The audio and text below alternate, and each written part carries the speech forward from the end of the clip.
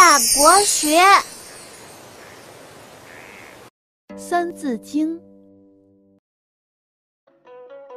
刨土革，木石金，丝与竹，乃八音。曰平赏，曰去入，此四声，一调谐。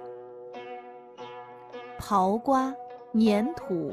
皮革、木块、石头、金属、丝线与竹子称为八音，是我国古代制造乐器的材料。中国古代还把说话声音的声调分为平、赏、去、入这四种，四声的运用必须和谐，听起来才能使人舒畅。乐可陶冶人的情怀。我国文明久远，历史悠久，文化丰富，音乐也非常突出。